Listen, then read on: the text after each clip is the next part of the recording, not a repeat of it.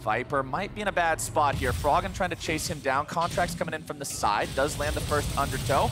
Froggen moves forward, throws Viper back. Viper flashing out of the way of the Urgot ultimate, keeping himself safe for now. Galio's behind. Redemption coming down, but Pobelter's looking to make his way behind. Here comes the flank, here comes the taunt.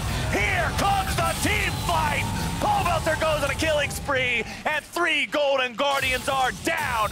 FlyQuest makes this their moment, as Deftly will be caught up in the Hextech ultimatum. You know, onto the Sion.